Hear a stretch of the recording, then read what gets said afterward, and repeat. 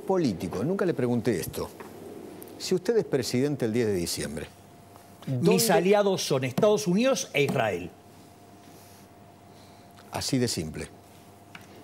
con todo lo que eso implica. A punto tal que Israel lo considero tan aliado que he dicho que voy a mudar la embajada desde Tel Aviv a Jerusalén.